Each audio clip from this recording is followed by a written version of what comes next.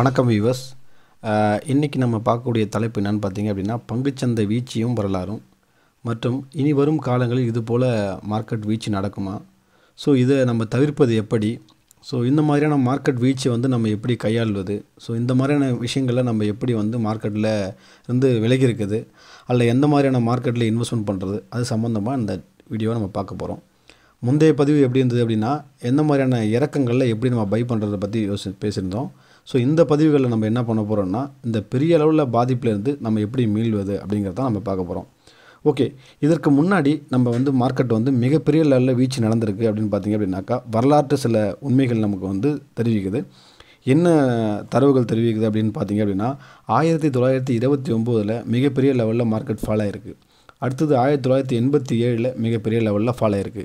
அடுத்தது ரெண்டாயிரத்தி எட்டில் மிகப்பெரிய லெவலில் ஃபால் ஆயிருக்கு. அடுத்தபடியாக ரெண்டாயிரத்தி இருபதில் இப்போ மிகப்பெரிய லெவலில் ஃபால் ஆகிக்கிட்டு இருக்குது ஸோ இந்த மாதிரியான மிகப்பெரிய லெவலில் ஃபால் ஆன வரலாற்றை பற்றி நம்ம படிப்படியாக பார்க்க போகிறோம் ஆயிரத்தி தொள்ளாயிரத்தி இருபத்தி ஒம்போதில் மிகப்பெரிய லெவலில் ஃபால் ஆகிருக்குன்னு நான் சொன்னேன் இல்லைங்களா? ஸோ அது எதனால் ஆச்சு அப்படிங்கிறத நம்ம பார்க்க போகிறோம் ஸோ ஷா ஸ்டாக் மார்க்கெட்டை பொறுத்தளவுக்கு எப்போவுமே ஒரு பேனிக் செல்லிங் இருக்கும். என்ன ரீசன் பார்த்தீங்க அப்படின்னாக்கா கிட்டத்தட்ட மார்க்கெட் வந்து ஒரு நல்ல க்ரோத் ஆகும்போது ப்ராஃபிட் புக்கிங் இருக்க தான் செய்யும். ஸோ அது என்னென்னா ஒரு ரீசன் தேவைப்படுது. இந்த கொரோனா வைரஸ் மாதிரி ஒரு பெரிய ரீசன் தேவைப்படுது. அந்த ரீசனுக்காக மார்க்கெட்டில் வெயிட் பண்ணிகிட்ருப்பாங்க கரெக்டான தருணம் வரும்போது மிகப்பெரிய லெவலில் விற்று முதலீட்டை வெளியெடுப்பாங்க. ஸோ அந்த மாதிரியான காலகட்டத்தில் நம்ம வந்து ஒரு மிகப்பெரிய லெவலில் லாஸ் ஆகாமல் நம்மளை தவிர்த்துக்கிறதுக்கு சில யுத்திகளை நம்ம பயன்படுத்த வேண்டியது ஸோ இருக்கட்டும். ஆயிரத்தி தொள்ளாயிரத்தி இருபத்தி ஒம்போதில் இப்போ எந்த மாதிரியான ஃபால் இருந்தது பார்த்தீங்கன்னாக்கா ஆயிரத்தி தொள்ளாயிரத்தி இருபத்தி ரெண்டுலேருந்து ஆயிரத்தி தொள்ளாயிரத்தி இருபத்தி ஒம்பது வரைக்கும் மிகப்பெரிய லெவலில் க்ரோத் இருந்தது. ஸோ அந்த க்ரோத் எந்த அளவுக்கு இருந்தது பார்த்திங்க அப்படின்னா இரநூத்தி பதினெட்டு பர்சன்ட் அளவுக்கு மார்க்கெட்டில் உயர்ச்சி உயர்ந்தது. ஸோ அந்த உயர்ந்த மார்க்கெட்டு மிகப்பெரிய லெவலில் ஃபால் ஆச்சு. ஆயிரத்தி தொள்ளாயிரத்தி இருபத்தி ஒம்பது அக்டோபர் இருபத்தஞ்சாந்தேதி மார்க்கெட்டில் ஒரு மிகப்பெரிய வீழ்ச்சி கண்டது. அந்த வீழ்ச்சி வந்து மிகப்பெரிய லெவலில் மக்களுடைய மனநிலை மட்டும் இல்லை ஸோ அவங்களுக்குள்ள ஒரு பெரிய பீதியை கிளப்பிச்சு இனிமேல் மார்க்கெட் வந்து ரெக்கரை ஆகிறதுக்கான வாய்ப்புகள் இல்லை. ஸோ அதனால் வந்து பெரிய லெவலில் ம மக்கள் வந்து பதட்டம் அடைஞ்சாங்க. மூன்று ஆண்டுகள் வந்து மார்க்கெட் வந்து கீழே இறங்குச்சு. அந்த தொடர்ச்சியான இழக்கத்தில் வந்து யூஎஸோட பேங்கிங் சிஸ்டம் மிகப்பெரிய லெவலில் ஃபால் ஆச்சு. மற்றும் வந்து அசட் வந்து ரொம்ப கொலாப்ஸ் ஆயிடுச்சு. அன்எம்ப்ளாய்மெண்ட்டு க்ரியேட் ஆயிடுச்சு. ஸோ அந்த காலகட்டத்தில் நம்மக்கிட்ட இருக்க ரெக்கார்டு என்னென்னு பார்த்தீங்க அப்படின்னா அமெரிக்காவோட ரெக்கார்டு தான். இந்தியாவை பொறுத்த அளவுக்கு அப்போ நம்ம ட்ரேட் பண்ண விதங்கள் எப்படி இருந்தது அப்படின்னாக்கா அதாவது எலக்ட்ரானிக் ஃபார்மேட் கிடையாது. எல்லாமே வந்து பேப்பர் ஃபிசிக்கல் ட்ரேடிங் ஆக்டிவிட்டி தான் பண்ணோம். ஆனால் அப்போது அதாவது ஏஷியாவிலே ஓல்டஸ்ட் எக்ஸ்சேஞ்சு வந்து பாம்பே ஸ்டாக்ஸ் எக்ஸ்சேஞ்சு ஆயிரத்தி எண்ணூற்றி எழுபத்தஞ்சிலே தொடங்கப்பட்டது. அந்த காலகட்டத்தில் மார்க்கெட்டில் எப்படி ட்ரேட் நடந்திருக்கும் நம்ம கற்பனை பண்ணி பார்த்தோம் அப்படின்னாக்கா ஆயிரத்தி தொள்ளாயிரத்தி இருபத்தொம்போதுலாம் பேப்பர் ட்ரேடிங் தான் பண்ணாங்க. ஸோ அதனால் வரலாற்று தரவுகள் நமக்கு பெரிய அளவில் கிடைக்கல. ஸோ நம்ம பார்க்கக்கூடியது வந்து உலக அளவில் மார்க்கெட் எந்த அளவுக்கு பாதிப்பு ஏற்பட்டுச்சு அப்படிங்கிறதுக்காக தான் நம்ம அமெரிக்காவை எடுத்து நம்ம செக் பண்ணுறோம் ஸோ செக் பண்ணும்போது சில உண்மையான தகவல்கள் நமக்கு கிடைக்குது. அதை பார்க்கும்போது மிகப்பெரிய லெவலில் நமக்கே வந்து ஒரு ஆச்சரியமான விஷயங்கள்லாம் நடந்திருக்கு. ஸோ அந்த கிரே என்ன ஆச்சரியமான விஷயம்னு பார்த்தீங்கன்னா அந்த கிரேட் டிப்ரெஷன் சொல்லுவாங்க. அந்த கிரேட் டிப்ரெஷனில் எந்த அளவுக்கு பாதிச்சுது அப்படின்னாக்கா ஒருவேளை சாப்பாட்டுக்கு கூட கஷ்டப்படுற சூழ்நிலை ஆயிடுச்சு. கிட்டத்தட்ட அந்த கண்ட்ரியில் பதினஞ்சு மில்லியன் பீப்புள் வந்து பாதிக்கப்பட்டாங்க. ஸோ அப்போ அந்த நாட்டுடைய பாதி மக்களுக்கு மேலே அன்எம்ப்ளாய்மெண்ட் ஏற்பட்டுச்சு. அப்போ சாப்பாட்டுக்கு வழி இல்லாத போது அவங்க என்ன பண்ணாங்க அப்படின்னு பார்த்தீங்கன்னாக்கா எல்லாருமே வந்து பார்த்திங்கன்னா டெய்லி வேஜஸ்க்கு வேலை செய்ய ஆரம்பித்தாங்க என்ன ரீசன் பார்த்தீங்க அப்படின்னாக்கா இண்டஸ்ட்ரியல் ப்ரொடக்ஷன் வந்து பயங்கரமாக பாதிப்பாயிடுச்சு. ஸோ ஃபிஃப்டி பர்சன்ட் ஃபால் ஆனதில் பிரெட் லைன்ஸ் அப்படின்னு சொல்லுவாங்க. பிரெட் லைன் அப்படின்னா எல்லோரும் கியூவில் நின்று எல்லோரும் சாப்பாடு வாங்கி சாப்பிடுவாங்க. என்ன மாதிரி அப்படின்னா சூப் கிச்சன்ஸ் அப்படின்னு சொல்லுவாங்க. ஸோ அப்போ வந்து பீப்புள் வந்து வீட்டில் வேலை வாய்ப்பு இல்லாததால் மக்கள் வந்து வெளியில் வந்து சாப்பாடு இப்போ நம்ம ஊரில் நம்ம என்ன சொல்லுவோம் அப்படின்னா கஞ்சி தொட்டி திறக்கிறோன்னுவாங்க.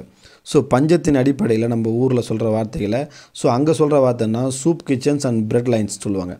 ஸோ அந்த மாதிரியான ஒரு பெரிய ஃபால்லேருந்து அவங்க மீண்டு வந்தது எப்படி அப்படின்றத நம்ம பார்க்க போகிறோம் ஆயிரத்தி தொள்ளாயிரத்தி இருபத்தி ஒம்போது முதல்ல ஆயிரத்தி தொள்ளாயிரத்தி முப்பத்தி மூணு வரைக்குமே மார்க்கெட் பெரிய ஃபால் ஆச்சு. ஸோ அந்த ஃபால் முடிவடும் டைமில் ஃப்ராங்க்லின் டி ரோஸ்வெல்டுங்கிறவர் யூஎஸோடைய பிரசிடெண்ட்டாக எலெக்ட் ஆகிறாரு. பேங்கிங் சிஸ்டம் ரொம்ப கொலாப்ஸ் ஆயிருந்தது. அதை எப்படியா சரி பண்ணி ஆகணும். ஸோ மீட் எடுக்கணும். அந்த ஃபினான்ஷியல் செக்டரில் இருக்கிறது தான் ஃபஸ்ட்டு அஃபெக்ட் ஆயிருக்கு. ஸோ அதனால் எடுத்த உடனே என்ன பண்ணார்னா ஃபோர் டேஸ் பேங்க்குக்கு ஹாலிடே அறிவிச்சார். அந்த ஹாலிடே அறிவித்த பிறகு அடுத்தபடியாக அவர் பண்ண விஷயம் என்னென்னு பார்த்தீங்க அப்படின்னா ஸோ அவர் மக்களிடையே ரேடியோவில் உரையாற்றார். உரையாற்றும் போது என்ன சொல்கிறாருன்னா ஸோ ஒரு கான்ஃபிடென்ட் லெவலில் க்ரியேட் பண்ணார். என்ன பண்ணார்னா ரோஸ்வெல்ட் வந்து வந்து ஃபஸ்ட்டு பண்ணது இண்டஸ்ட்ரியல் அண்ட் ப்ரொடக்ஷன் வந்து பார்த்தீங்கன்னா இன்க்ரீஸ் பண்ணார். அக்ரிகல்ச்சர் ப்ரொடக்ஷன் இன்க்ரீஸ் பண்ணார். ஸோ இதனால் மக்கள்கிட்ட எல்லாருக்கும் ஒரு நல்ல நம்பிக்கை ஏற்பட்டு ஜாப்ஸ் க்ரியேட் ஆகி ஒரு நல்ல ஸ்டிமுலஸ் ரெக்கவரி ஆயிடுச்சு. ஸோ இதன் காரணமாக மக்கள் எல்லாரும் அந்த பயத்துலேருந்து மீண்டு வெளில வந்தாங்க. ஸோ அப்புறம் மார்க்கெட் கிட்டத்தட்ட ஒரு நல்ல ஏற்றம் கொண்டது. ஸோ மூன்று ஆண்டுகள் மார்க்கெட் ஒரு பெரிய வீழ்ச்சியிலேருந்து இருந்து அடுத்து வரும் காலங்களில் மார்க்கெட் ரெக்கவரி ஆச்சு. ஸோ அடுத்தபடியாக பார்த்தீங்கன்னாக்கா ஆயிரத்தி தொள்ளாயிரத்தி எண்பத்தி ஏழில் மார்க்கெட் மிகப்பெரிய லெவலில் ஃபால் ஆச்சு. அதுக்கு முன்னாடி நம்ம இந்த மாதிரியான நிகழ்வுகள் இனி நடக்குமா அப்படிங்கிற மாதிரி ஒரு ப்ராப்ளங்களை எப்படி சால்வ் பண்ணலாம் அப்படிங்கிறதும் ஸோ இந்த மாதிரியான மார்க்கெட்டை பெரிய ஃபால் ஆச்சு. ஸோ இது எதனால் ஆச்சு? இந்த மாதிரி வரும் நாட்களில் நடக்குமா அப்படிங்கிறத அப்போ இருந்த காலகட்டத்தில் ராப் நெல்சன் எலியாட் அப்படிங்கிறவர் ஆயிரத்தி தொள்ளாயிரத்தி முப்பதில் நடந்த நிகழ்வை ஆராய்ஞ்சு ஆயிரத்தி தொள்ளாயிரத்தி முப்பத்தொம்போதில் ஒரு விஷயங்களை கண்டுபிடிக்கிறார். ஸோ அந்த விஷயந்தான் பார்த்திங்க பார்த்தீங்க அப்படின்னா எலியாட் வேவ் தெரி ஸோ அந்த எலியாட் வேவ் தெரியல என்ன சொல்கிறாங்க அப்படிங்க அப்படின்னு பார்த்தீங்கன்னாக்கா அவர் எல்லாத்தையுமே ஆராய்ஞ்சார். ஸோ இதுக்கு முன்னாடி நடந்த மார்க்கெட்டோடைய ஓவரால் ஹிஸ்ட்ரியை செக் பண்ணுறாரு செக் பண்ணதில் அதில் நடந்த டிரான்சாக்ஷன் பார்த்திங்க அப்படின்னா thirty minutes daily weekly monthly yearly எல்லா மார்க்கெட்டோடைய மூமெண்ட்டை எடுத்து அனலைஸ் பண்ணுறாரு எலியாட் வேவ் ஸோ அந்த எலியாட் வேவ் தெரிய அவர் கிரியேட் பண்ணுறாரு ஸோ எதனால் மார்க்கெட் கீழே இறங்குச்சு? இனி வருங்காலங்கள்லேயும் மார்க்கெட் இறங்கக்கூடிய வாய்ப்புகள் இருக்கா? அப்படிங்கிறத ஆராய்ஞ்சு அவர் எலியாட் வேவ் தெரிங்கிற ஒரு பெரிய பேட்டர்னை க்ரியேட் பண்ணுறாரு அந்த பேட்டர்னை க்ரியேட் பண்ணதுனால வரும் நாட்களில் எதை மாதிரியான மார்க்கெட் நிகழ்வுகள் நடக்கும் அப்படிங்கிறத முன்கூட்டியே அவர் கணிச்சிட்டார் ஆயிரத்தி தொள்ளாயிரத்தி முப்பதில். ஸோ அதே போல ஆயிரத்தி தொள்ளாயிரத்தி எண்பத்தி ஏழில் நடந்திருக்கு. இப்போ நம்ம அந்த சார்ட்டை பார்க்க போகிறோம் அந்த சார்ட்டில் பார்த்தீங்க அப்படின்னா ட டவ் ஜோன்ஸு பதினேழு எட்டு ஆயிரத்தி தொள்ளாயிரத்தி எண்பத்தி ஏழில் கிட்டத்தட்ட பீக்கில் இருந்து மார்க்கெட்டு ரெண்டாயிரத்தி எழுநூற்றி பத்து என்ற புள்ளியில் மார்க்கெட் இருந்து கிட்டத்தட்ட மார்க்கெட் வந்து ஆயிரத்தி எழுநூற்றி அறுபத்தி ஓரு புள்ளிகள் வந்து கீழே சரிஞ்சுது. ஸோ கிட்டத்தட்ட பர்சன்டேஜ் வைஸ் பார்த்தீங்க அப்படின்னா முப்பத்தஞ்சு புள்ளி ஐந்து சதவீதம் மார்க்கெட்டில் க்ராஷ் ஆச்சு. டவ் ஜோன்ஸ் வந்து அந்த எண்ட் ஆஃப் த டைம் பார்த்திங்க அப்படின்னா முப்பது பதினொன்று ஆயிரத்தி தொள்ளாயிரத்தி எண்பத்தி ஏழு. ஸோ இந்த காலகட்டத்தில் மார்க்கெட்டில் ஒரு பெரிய ஃபால் நடந்தது. இந்த ஃபால் மாதிரியே மறுபடியும் இந்தியாவில் நடந்ததான்னு பார்த்தீங்க அப்படின்னா அந்த காலகட்டத்தில் நம்மக்கிட்ட எலக்ட்ரானிக் ஃபார்மட் ட்ரேடிங் சிஸ்டம் கிடையாது. ஆயிரத்தி தொள்ளாயிரத்தி தொண்ணூற்றி ஐந்து தொண்ணூற்றி ஆறு காலகட்டத்தில் தான் நம்ம இந்தியாவில் ஒரு ஆன்லைன் ட்ரேடிங் சிஸ்டமே நம்மக்கிட்ட வருது. ஸோ அப்போ தான் பார்த்திங்க அப்படின்னா என்எஸ்சியும் மார்க்கெட்டில் வராங்க. அதுக்கு முன்னாடி வரைக்கும் பிஎஸ்சி மார்க்கெட்டு தான் மார்க்கெட்டில் இருந்தது ட்ரேடிங்கு அதுவும் எலக்ட்ரானிக் ஃபார்மேட்டில் இல்லை ஃபிசிக்கல் ட்ரேடிங் சிஸ்டம் தான் இருந்தது. ஸோ பேப்பர் ட்ரேடிங் சொல்லுவாங்க தமிழில். ஸோ ஆயிரத்தி தொள்ளாயிரத்தி எண்பத்தி ஏழில் மிகப்பெரிய உள்ள மார்க்கெட் ஃபாலோ ஆகிறதுக்கு ஏதாவது ஒரு ரீசன் இருக்கணும். அந்த ரீசன் என்னென்னு பார்த்தீங்க அப்படின்னா யூஎஸோட சென்ட்ரல் பேங்க் மற்றும் west German bank so Japan bank போன்ற எல்லாமே மார்க்கெட்டில் ஒரு டிஃபால்ட் ஆச்சு. ஃபினான்ஷியல் இன்ஸ்டியூஷன் வந்து பணத்தை வந்து ரீ ரீபே பண்ண முடியாமல் பெரிய லெவலில் இம்பாக்ட் ஆச்சு. ஸோ இதனால் எக்கனாமி எல்லாமே கொலாப்ஸ் ஆச்சு. அந்த கொலாப்ஸ் ஆன காலகட்டத்தில் இருபத்தி மூணு கண்ட்ரிக்கிட்ட மிகப்பெரிய லெவலில் ஃபாலோ ஆச்சு அவங்களுடைய கரன்சி அதில் மிக முக்கியமாக யூஎஸ் மற்றும் சிங்கப்பூர் நியூசிலாந்து மெக்சிகோ மலேசியா போன்ற நாடுகள்லாம் முப்பது முதல் முப்பத்தொம்போது சதவீதம் இறங்குச்சு. ஹாங்காங் ஆஸ்திரேலியா சிங்கப்பூர்லாம் கிட்டத்தட்ட நாற்பது சதவீதம் வரைக்கும் மார்க்கெட்டை வந்து பயங்கர ஃபால் ஆச்சு. ஸோ அவங்களுடைய கரன்சி எல்லாமே மிகப்பெரிய லெவலில் ஃபால் ஆனதால் வேர்ல்டில் மொத்த லாஸ் அப்போ கால்குலேட் பண்ணது என்னென்னு பார்த்தீங்கன்னா one point seven trillion dollars so அந்த அளவுக்கு மார்க்கெட்டில் கொலாப்ஸ் ஆகிறதுக்கு காரணம் ஸோ அப்போ ஃபினான்ஷியல் இன்ஸ்டியூஷன் தான். அந்த ஃபினான்ஷியல் இன்ஸ்டியூஷனில் லிக்விடிட்டி ப்ராப்ளம் ரெண்டாவது பார்த்திங்க அப்படின்னா நியூசிலாந்துலேயும் அவங்களுடைய மானிட்டரி பாலிசி வந்து ரொம்ப கிரிசஸ் ஆச்சு. ஸோ இந்த மாதிரி எல்லாமே நெகட்டிவ் ஸோ லாங் டேர்ம் எல்லாமே பெரிய ப்ராப்ளங்கள் வரும்போது ஃபினான்ஷியல் மார்க்கெட்டு மிகப்பெரிய லெவலில் லாஸ் ஆச்சு. ஆயிரத்தி தொள்ளாயிரத்தி எண்பத்தேழில் கிட்டத்தட்ட இருபத்தி ரெண்டு சதவீதம் ஒரே நாளில் மார்க்கெட் ட்ராப் ஆச்சு.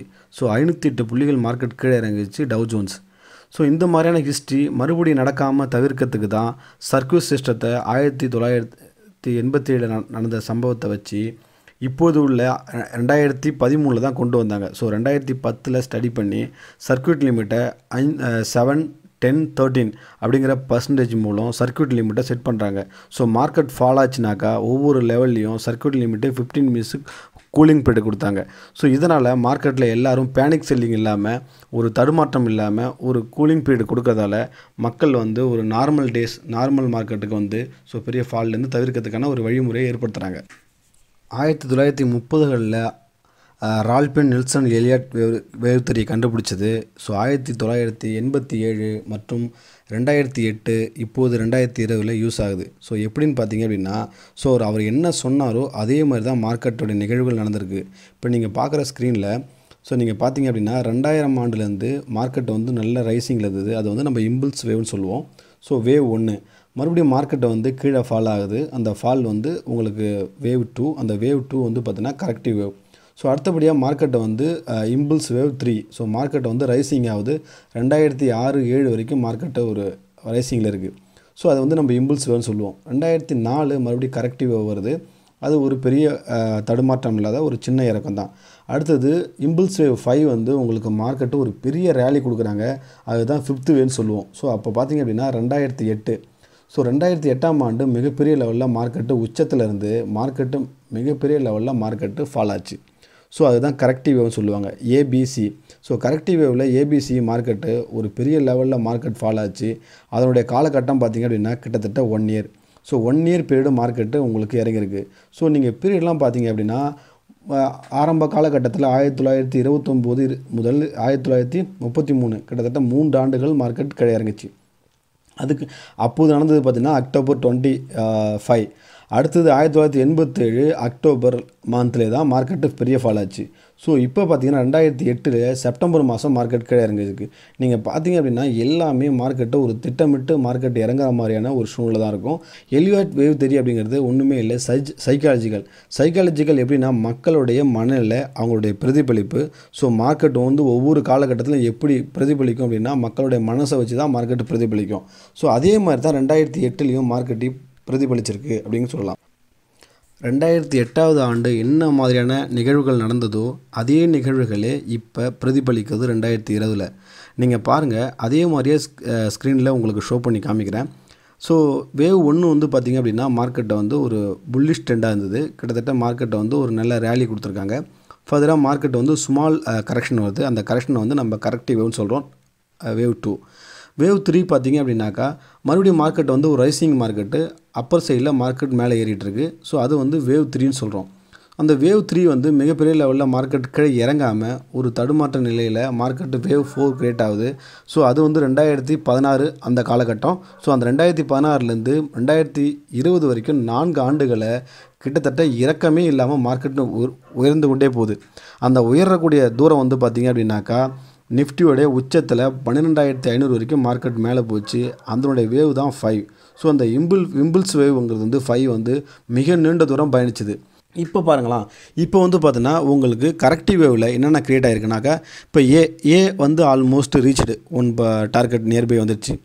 இப்போ மார்க்கெட்டு புல்பேக் ரேலி வந்து ஒரு ஸ்மால் லெவலில் மார்க்கெட்டு வந்து ஒரு புல்பேக் ரேலி வந்து உங்களுக்கு க்ரியேட் ஆகலாம். பி ஸோ பி லெவலில் வந்து உங்களுக்கு மார்க்கெட்டு அங்கே ஒரு ஸ்டாக்னண்ட் ஆகிட்டு மார்க்கெட் மறுபடியும் மேலே ஏற முடியாமல் மறுபடியும் தத்தளித்து அங்கேருந்து ஃபர்தர் ஃபால் ஆகும். இப்போ ஃபர்தர் ஃபால் வந்து ஆல்ரெடி இருக்கக்கூடிய லெவல் பார்த்திங்க அப்படின்னா அதாவது நம்ம இம்பிள்ஸ் வேவில் வேவ் ஒன்றோ அல்லது ஃபோரோ அதை கடந்து கீழே வரலாம். அது அதே லெவலில் உள்ள மார்க்கெட்டு நிற்கக்கூடிய வாய்ப்புகள் இருக்குது அப்போது நம்மளுடைய டார்கெட் பார்த்திங்கன்னா ஆறாயிரத்தி நானூறு இல்லை ஐயாயிரம் ரேஞ்சில் மார்க்கெட்டு நம்ம எதிர்பார்க்கலாம். ஏன் வந்து சார் நீங்கள் மார்க்கெட் வந்து இன்னும் கீழே இறங்குங்கிறீங்க? உடனே மார்க்கெட் மேலே ஏற உடனே மார்க்கெட்டு ஏறினாலுமே மறுபடியும் மார்க்கெட் கீழே இறங்கக்கூடிய வாய்ப்புகள் இருக்குது ஏன்னா ஆயிரத்தி தொள்ளாயிரத்தி முப்பதுலே இந்த மாதிரியான நிகழ்வுகள் நடக்கக்கூடும் அப்படின்னா அவங்க அப்போவே கணிச்சிட்டாங்க.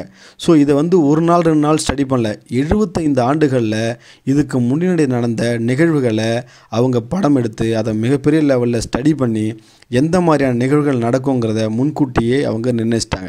ஸோ இந்த ரெண்டாயிரத்தி இருபதில் கூட உங்களுக்கு பாருங்கள் இந்த மாதிரி கொரோனாங்கிற நியூஸ் வந்து உங்களுக்கு ஒரு பேட் நியூஸை க்ரியேட் பண்ணி இந்த ஃபிஃப்த் வேவுக்கு அவங்க வழிவிட்டிருக்காங்க இறங்கிறதுக்காக. ஸோ அந்த இறங் இறங்கிறதுக்கான வழி விட்ட குத்தம் மார்க்கெட்டில் எல்லாரும் ப்ராஃபிட் புக் பண்ணி வெளியேறாங்க நீங்கள் பாருங்கள் ஐந்து முறை மார்க்கெட்டை மேலே ஏறி மூன்றே முறையில் மார்க்கெட்டு கீழே அதான் இறங்கும்போது வேகமாக இறங்கும் ஏறும்போது இத்தனை ஆண்டுகள். கிட்டத்தட்ட இது ஒரு ஸ்டேட்டஸ்டிக்கலாக சொல்ல போனாக்கா எலியட் வேவத்தோருடைய கால அவகாசம் கிட்டத்தட்ட ஏழு ஆண்டுகள்லேருந்து பத்து ஆண்டுகள் வரைக்கும் நீடிக்கக்கூடும். ஸோ இது எந்த காலகட்டத்தில் வேணாலும் மார்க்கெட்டு இறங்கும். ஸோ அப்போ அடுத்த பத்தாண்டுகளுக்கு மார்க்கெட் இறங்காது சார்? நான் உங்களுக்கு சொன்ன மாதிரி இதோட இறக்கங்கள் வந்து minimum six month maximum one year அல்லது த்ரீ இயர் வரைக்கும் மார்க்கெட் இறங்கும். இதுதான் வந்து கரெக்டிவ் வேவில் நடக்கக்கூடிய டியூரேஷன் அடுத்தபடியாக மறுபடியும் மார்க்கெட்டை உயரும்போது கிட்டத்தட்ட ஏழு ஆண்டுகள் முதல் பத்தாண்டுகள் வரை மறுபடியும் ஃபர்தராக மார்க்கெட்டு மேலே போகிறதுக்கு தான் வாய்ப்பு இருக்கும். ஸோ அதனால் நம்ம மூ இரண்டு ஆண்டுகளுக்கு நம்ம முதலீடு செஞ்சு ஏழு ஆண்டுகள் வரைக்கும் வெயிட் பண்ண சொல்கிறதுக்கான ரீசன் இதுதான். லாங் டேர்முங்கிறதே ஃபைவ் இயர் செவன் இயர் அப்படின்னு சொல்கிறதுக்கு காரணம் இதுதான். அப்போ நீங்கள் குறையும் போது நீங்கள் வாங்குனீங்க அப்படின்னா five year to seven year wait பண்ணீங்க அப்படின்னா ஸ்டாக் மார்க்கெட்டில் நிச்சயமாக ப்ராஃபிட் பார்க்க முடியும். அதில் எந்த ஒரு மாற்று கருத்தும் இல்லை. இப்போ ரெண்டாயிரத்தி இருபதுனா ரெண்டாயிரத்தி இருபத்தி ஏழோ முப்பதோ இது மாதிரியான ஒரு பெரிய நிகழ்வுகள் நடக்க போகுது. அப்போ நம்ம அந்த காலகட்டத்தில் இப்போ வாங்கி அப்போது விற்று வெளியேறணும். இதுதான் இப்போதைக்கு இருக்கிற ஒரு ஸ்ட்ராட்டஜி ஸோ அதை நம்ம வந்து நல்லா புரிஞ்சுக்கணும் ஸ்டாக் மார்க்கெட் ட்ரேடர்ஸ் ஸோ இது உங்களுக்காக நம்ம பிரத்யேகமாக ரெடி பண்ண இந்த வீடியோ இதை பார்த்து உங்களுக்கு பிடிச்சிருந்தது அப்படின்னாக்கா உங்கள் ஃப்ரெண்ட்ஸுக்கு ஷேர் பண்ணுங்கள் ஸோ சப்ஸ்கிரைப் பண்ணுங்கள் ஸோ எந்திரிச்சு உங்களுக்கு அகாடமி மூலம் உங்களுக்கு பல விஷயங்களை மார்க்கெட்டில் நடக்கிற நிகழ்வுகளை உடனுக்குடன் அன்றைய அன்றைய தினமே உங்களுக்கு ஒரு நீண்டகால அடிப்படையில் எந்த மாதிரியான மார்க்கெட் அமையும் அப்படிங்கிறத உங்களுக்கு உடனுக்குடன் தெரிவிப்போம். நன்றி. வணக்கம்.